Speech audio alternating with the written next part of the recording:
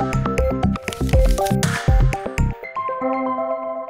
Na reunião da comissão mista que vai elaborar o projeto de modernização do plano de cargos e salários dos praças da Polícia Militar e do Corpo de Bombeiros Militar, ficou definido que será solicitado a entidades representativas da categoria o envio de minutas dos planos.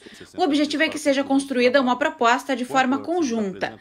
Há consenso entre os deputados de que é preciso encontrar uma solução justa que o governo do estado possa cumprir.